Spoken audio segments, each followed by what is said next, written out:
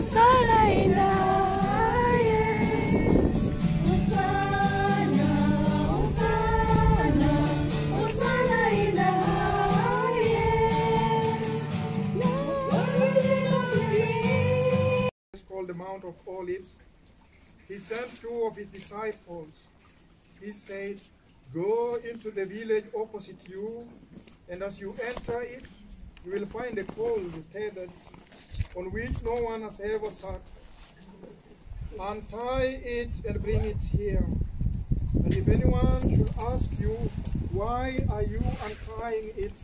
you will answer, The master has need of it. So those who had been sent went off and found everything just as he had told them.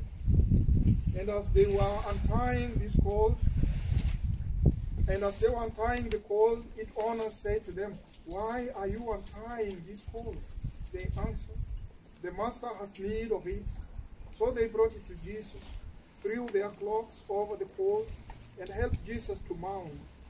And as he rode along, the people were spreading their cloaks on the road. And now, as he was approaching the slope of the Mount of Olives, the whole multitude of his disciples began to praise God aloud with joy for all the mighty deeds they had seen. They proclaim, Blessed is the King who comes. The Pharisees in the crowd say to him, Teacher, rebuke your disciples. He said in reply, I tell you, if they keep silent, the stone will cry out. The Gospel of the Lord. Praise to you, Lord Jesus Christ. Dear brothers and sisters, like the crowd who acclaimed Jesus in Jerusalem, let us go forth in peace.